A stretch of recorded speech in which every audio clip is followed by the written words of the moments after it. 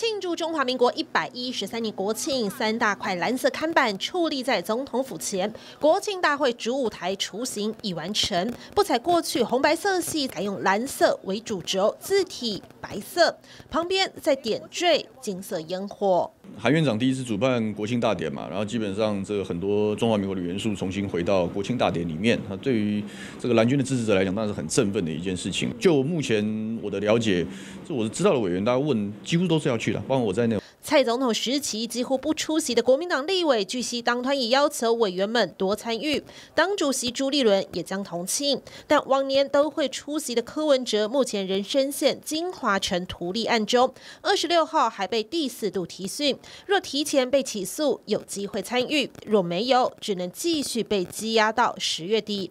这民众党立委会不会趁出席时跟总统表抗议，还是干脆就不去？党团全体的成员十月十号都会出席。赖总统啊，他随时只要他愿意，他都听得到我们的声音了。那如果说他继续的刚愎自用、蛮横下去的话，当面跟他讲，我看他也听不进去啊。还有台北市长蒋万也可能参与，而为欢庆国庆，北市街头更提前一周挂国旗。很高兴能够在暌违多年之后。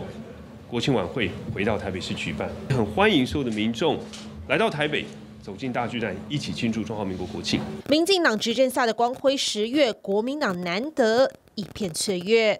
TVB 新闻李国正、串柔台报道。想看最完整的新闻内容，记得下载 TVBS 新闻网 APP。